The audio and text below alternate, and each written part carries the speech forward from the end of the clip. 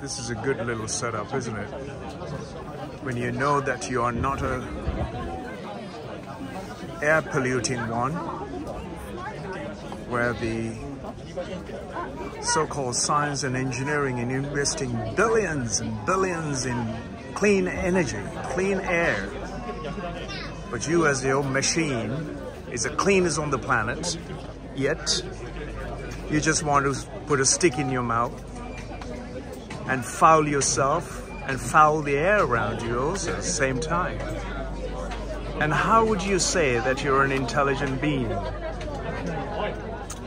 Well, Japanese have got a way to actually um, break your nicotine crave by installing these mobile little setups so that there are no cigarette butts around the like elsewhere the on the planet at will they'll smoke with no regards no responsibility will puff on your face and once they've done with it they just flick the cigarette butt on the side.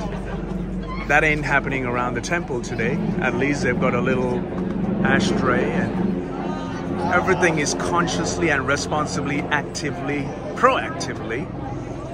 Finding solutions is the only way for humanity to progress forward. Otherwise, where we find ourselves around the rest of the world is going backwards, whilst I'm sure the Chinese are far more advanced where it comes very soon in the next 20 to 30 years, not even that. Before you blink your eye, you might find that China might catch up with every one of us by copying the con concepts, finding solutions, making human well-being the key priority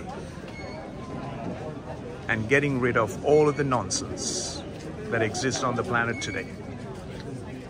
I wish them well.